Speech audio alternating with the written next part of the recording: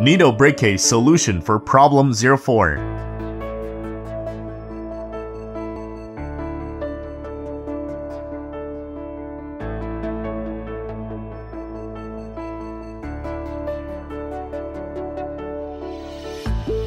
Needle must be fixed to the maximum top, otherwise it will cause 3 breakage, skip stitch, needle breakage, and other problems.